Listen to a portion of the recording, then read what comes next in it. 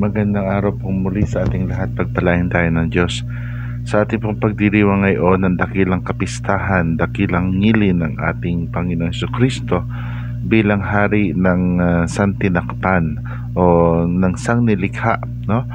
Ating uh, pagninilayan sa mabuting balita uh, ayon kay San Mateo talata 25 talata 31 hanggang 46 yung tinatawag nating uh, mangyayari sa wakas ng panahon. Doon po ang ating si Kristo, ang ating hari, Kristo Rey sa Kastila ay magbubukod. Magbubuko rin niya ang mabubuti at masasama, no?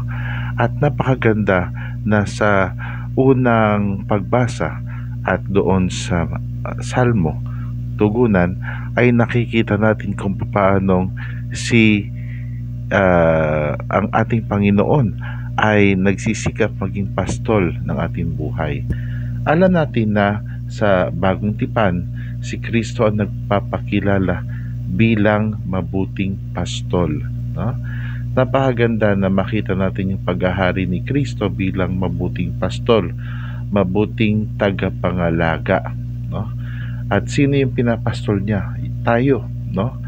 Pero hindi ibig sabihin, ay sige, si father na lang ang gagawa niya, no, mga obispo. Hindi. Dito po sa atin, ang kasalukuyang panahon, ang sinisikap nating uh, tuklasin at uh, uh, tangkilikin ay yung tinatawag nating gampanin ng bawat isa sa ating iisang bayan ng Diyos. Nang ibig sabihin, ako ay hindi lamang halimbawa, kung sinabihan ni Father o na ganito ang gawin ay hindi ko lang gagawin yun dahil uh, parang blind obedience no? Parang bulag na pagsunod. Kundi dahil ako ay mayroong kakayahan na uh, gawin ng may buong kamalayan at kalayaan ang bagay na ginagawa ko dahil maalam akong tumalima no magandang isipin natin na yung ating uh, buhay dito ay isang patuloy na pagsasanay upang si Kristo ang maghari sa atin. Paano natin nalalaman na si Kristo naghahari sa atin kung paano natin itinuturing ang ating kapwa. Lalo tigit ang mga nangangailangan. Lalo tigit yung mga pinandidirihan sa lipunan. Lalo tigit yung mga mahirap pakinggan. No?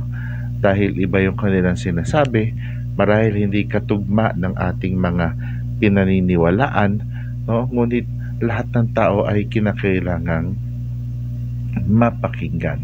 No? Everybody deserves to be listened to. No? Uh, napakaganda na i-check sa ating buhay, si Kristo ba nagahari sa akin? No? Siya ba nagahari sa aking maghapon? Siya ba nagahari sa aking schedule? Sa aking my day? No? siya ba naghahari sa aking mga uh, um, text messages? Halimbawa sa aking mga convo no? Face to face man or online no? Siya ba naghahari sa aking takbo ng isip no? Siya ba naghahari sa aking gustong gawin sa aking kapwa no?